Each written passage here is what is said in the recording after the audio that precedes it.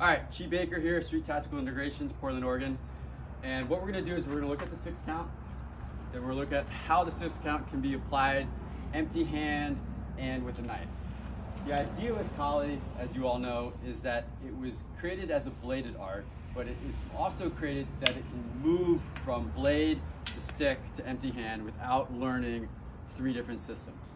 All right, so we're going to demonstrate demonstrate that today with um, the different techniques that we're to work on. So we've got heaven six, right? Then you've got heaven and earth six.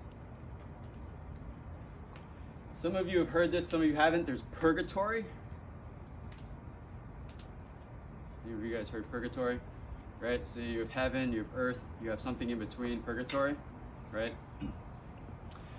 With heaven six, right, you can start to switch up your standard heaven six, right, or your heaven and earth.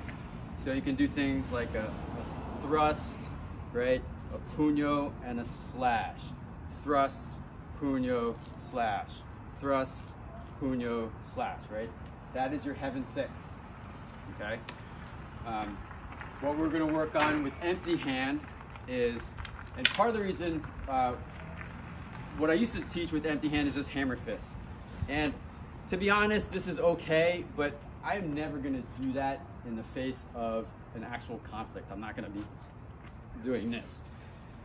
One, it looks funny, right? It might, like Chris is laughing, it might, la- it might, the, your, your attacker might be like, oh my God, this is hilarious, and forget to attack you, right?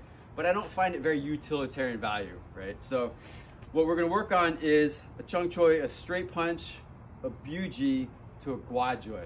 Okay, so it's punch, buji, guajoy, punch, buji, guajoy.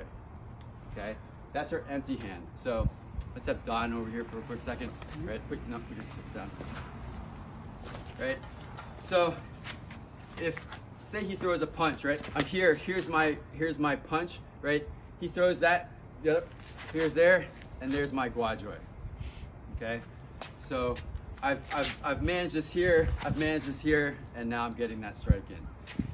So that's the kind of, there's many utilitarian values of, of this combo, but the idea is that I'm hitting, right, I'm getting a buji. I, I may, he may, we may be here, right, and before he gets to do anything, boom, boom, right? I've just gotten two hits in, and there's my third hit. So I don't have to necessarily wait for Don to throw a punch at me. So if I know he's gonna throw a punch at me, uh, I might just decide to close distance and do whatever, okay? Right, then we're gonna go to knife, okay? If, um, if I'm in a military position, it's here, right? My first, there's angle one, right? And then this could be, again, be a buji, right? Here's two, and here's three, right? So one, two, three, right? If I'm single, if I've got only one blade, to be honest, I don't typically carry two blades anymore. I used to, kind of feels a little excessive, but sometimes it just feels good to carry two, three. At one training, I had five blades and they kept pulling blades. I was wrestling with somebody, they kept pulling blades off me, and they're like, How many does this guy have? And I was like, You didn't get them all! right? Okay. Then we go to standard position here, right? And here's my one, here's my two, and here's my three. So I've gone here, right? So there's there's my half of my six count. Okay, so we're gonna adapt the six count depending on what we have available to us. Does that make sense?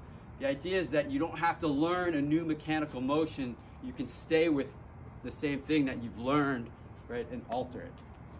Make sense? All right, good. Train it and believe it.